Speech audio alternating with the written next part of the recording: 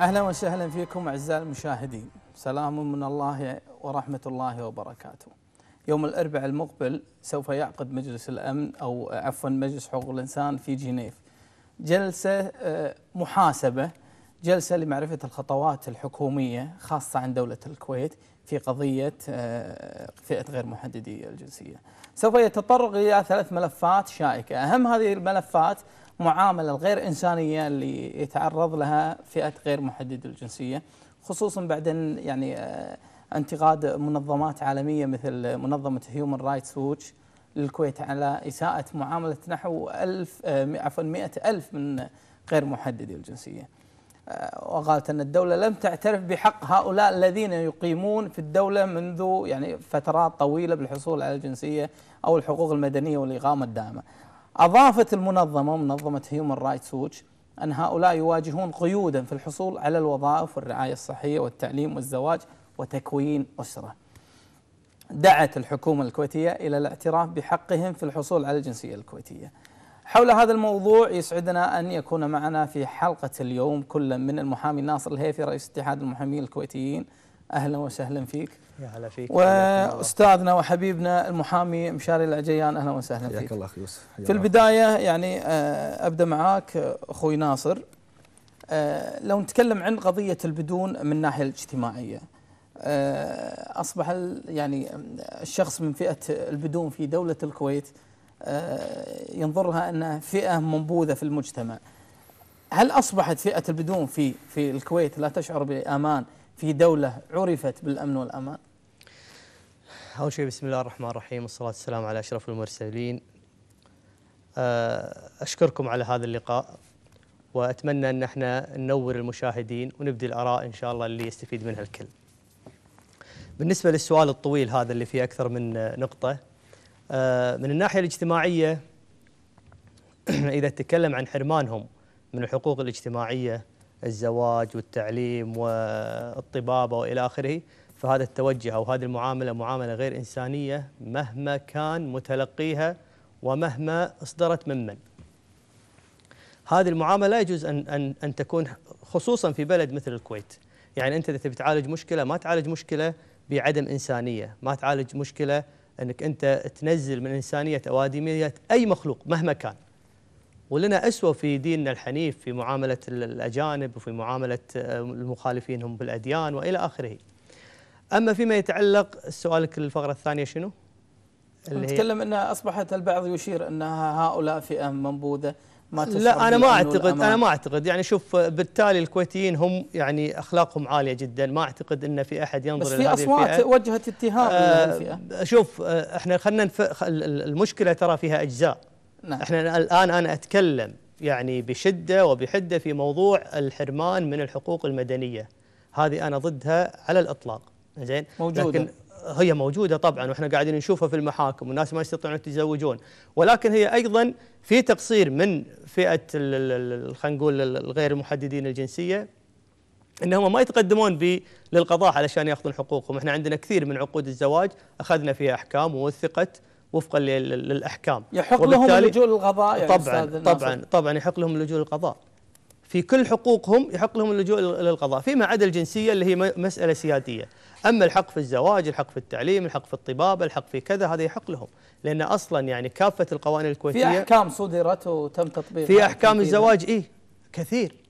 كثير من عقود الزواج وثقت في المحاكم. شهادات الميلاد و... وشهادات الميلاد أيضا أخذوا فيها أحكام و... والمسألة ماشية. إحنا اللي قاعدين نستغرب منه مثل ما قلت لك إن في أصوات متعالية إن إحنا ما نقدر ما نقدر ما نقدر. لا يا أخي تقدر. في مسألة الحقوق المدنية تقدر. وإحنا عندنا أحكام وكنا تكلمنا في أكثر من لقاء في أكثر من برنامج إن هذا الموضوع يعني آه القضاء يحله وسبق أن حله وفي أحكام وثقت فيها عقود الزواج وفي أحكام أيضا اصدرت البطاقات المدنية عفوا الميلادية ووثقت ميلادياتهم. وموجودة هذه الأحكام. أنا راح أرجع لك لأن قضية القضاء شائكة. راح طبعا. أرجع لك يعني أستاذ مشاري آه، آه، العجيان. يعني آه، البعض يعني يعزي ارتفاع الجريمة لعدم حل قضية البدون. ارتفاع الجريمة السرقات المخدرات حتى القضايا الأخلاقية. هل هذا صحيح؟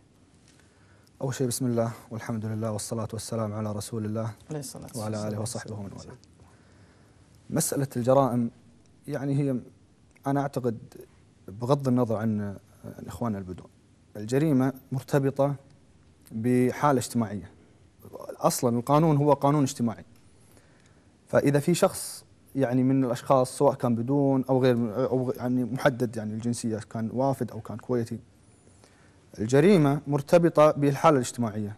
إذا كان عاطل عن عمل إذا كان يعاني بعض المشاكل النفسية فمسألة حرمان فئة كبيرة يعني مئة ألف أنت ذكرت عددهم أعتقد أنهم ممكن أكثر من مئة ألف. أكثر ب 120 120 ألف تقريبا. إذا حرمتهم من حقوقهم كبشر وحرمتهم من حقوقهم في يعني في العلاج وفي التعليم وفي طبيعي راح يكون يعني راح تنتج عن ذلك جرائم كثيرة في المجتمع. فحل حل الجرائم حل آه، يعني التقليل من الجرائم يعني لا يمكن أن تعدم الجرائم مرة واحدة. لكن حلها مسألة حلها وتقليل من الجرائم مرتبط بحل هذه القضية. لأن كثير من الجرائم آه، يكون فيها أحد آه، أبناء آه، فئة البدون مرتبط فيها بشكل أو بآخر. يعني غالب الجرائم اللي تحصل في البلد. فبالتالي هذا أمر غير مستغرب. وأمر أعتقد حتى الدراسات الجنائية الحديثة اللي تطرقت للكويت وعن المشكلة الجرامية في الكويت ذكرت هذا الجانب. مسألة البدون وحرمان البدون يعني نتيجة تأتي بعدها نتيجة الإجرام جميل. والنزاعات أستاذ عند مشاري. يعني أنت محامي آه، ذكر آه، رئيس اتحاد المحامين الكويتيين الأخ ناصر آه، الهيفي أنه يعني يحق للبدون آه، اللجوء للقضاء. هذا صحيح؟ وذا في وجود أحكام تم تطبيق هالأحكام هذه ولا ما طبقت؟ والله مسألة اللجوء مسألة عادية يعني كل إنسان ممكن يلجأ للمحكمة لكن مسألة التطبيق هذا هني الكلام. يعني كثير من البدون أخذوا أخذوا أحكام. لكن ما شو ما شو الفائدة؟ ما طبقت. ما طبقت. ولا ولا الدولة راضية تطبقها يعني. وأحكام باسم صاحب السمو يعني. يعني حكم يصدر المحكمة باسم صاحب السمو وترفض. لا يتم تنفيذها. لا يتم تنفيذها. الأحكام هذه متعلقة بإصدار شهادات الميلاد وخلافه شوف أخي يوسف الاحكام أحكام القضاء أحكام شكلية. ما تفعل إلا إذا نفذت. يعني أنا على سبيل المثال ممكن تروح المحكمة المدنية تطالب في حق لك يحكم لك القاضي. لكن لما تيجي تنفذ ما تقدر تنفذ شو الفائده؟ شو الفائده لما أروح القضاء أجل القضاء وأخذ أحكام وآخرتها ما لاني قادر ما يتم التنفيذ عن طريق الإدارة العامة لتنفيذ ال- أي تنفيذ إدارة التنفيذ لجنة؟ للتنفيذ. ولا الإدارة تنفيذ- العامة لا للتنفيذ. التنفيذ مدني شيء ثاني لكن أنت ال- الهيئه المن- المن- المناط بها آه، بمتابعة قضايا البدون هي اللجنة المركزية على ما أعتقد نعم. واللجنة هي يعني مو بس حكم محكمة حتى لو حكم من البرلمان نفسه ما تنفذ يعني هذا لا، أمر آه، آخر. عفوا أنا بس أستاذ بس ناصر أنا يعني بس برد في هذا في هذه الجزئية بالذات. يعني الأحكام هي أحكام يعني مو يعني حتى مو أوامر أقوى من الأمر. بس طبيعي الحكم هو ورقة ما راح تطير وتوصل عشان تقول لك والله نفتك ولا حط يعني لازم أنت تتخذ الإجراءات اللازمة في تنفيذ هذا الحكم. أي، خروج مندوب إعلان لا لا لإعلان- لا لا مو هذا الموضوع. الموضوع هذه كلها إجراءات شكلية طبعا لازم تتم إجراءات شلون إبلاغهم؟ بس أقول لك عطني فرصة بس. ال- المسألة أنك أنت لما توجه حق وزارة الداخلية ولا وزارة الصحة بتنفيذ الحكم ويرفض التنفيذ ما هي لعبة. هذا حكم صادر من المحكمه إذا ما نفذ راح تسوي راح تعمل. تلجأ إلى النيابة العامة ضد وكيل الوزارة ويسجن وكيل الوزارة وي- ويسجن ويعزل من وظيفته إذا ما إذا ما نفذ هذا الحكم. فهي مو مسألة يعني مسألة إنه والله بس أنا آخذ حكم وأنام عليه، كثير من الناس اللي اللي تكلموا عن هذا الموضوع وأنا في قضية من القضايا تحديت ونفذت. قلت ما يصير لازم يت- يتم تنفيذه. تنفيذ شنو ممكن نعرف تنفيذ آه، الحكم القضائي اللي نفذته آه تنفيذ آه بطاقة شو اسمه ميلادية، شهادات ميلاد. آه، قمت بإقامة دعوة طبعا ضد طبعا على أساس إنه يصير هذا شو اسمه وكيل الوزارة أو غيره راح يكون تحت طائلة القانون. ما في مجال، أنت تعطيه فترة تنذره إنذار، تعطيه فترة أعتقد آه، آه، أعتقد 30 يوم، بعد ال 30 يوم يوم إذا ما نفذ راح تلجأ إلى النيابة العامة والنيابة العامة سؤالا واحدا لا يعني ما في يمين شمال ما في. نفذت ولا ما نفذت؟ نفذت خلاص انتهت القضية.